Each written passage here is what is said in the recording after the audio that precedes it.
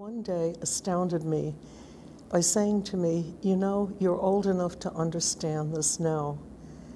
Your father never, we were talking about medals, he said, Your father never got the medal that he deserved because he was a Jew.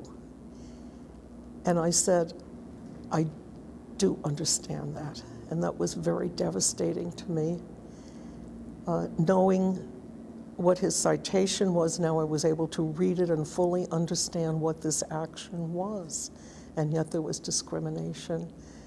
I immediately went to my dad and I said, Daddy, is what Jim said true? Was this because you were a Jew? And he said, there was terrible discrimination at that time. It was all over the place. He said, but I was very satisfied with the distinct, our nation's second highest award. And he said, realize this, it was never about medals. It was about fighting for our country.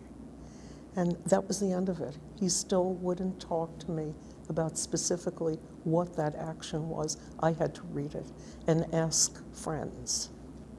So he was not bitter. Not at all. He loved this country, and it was never about medals. Never.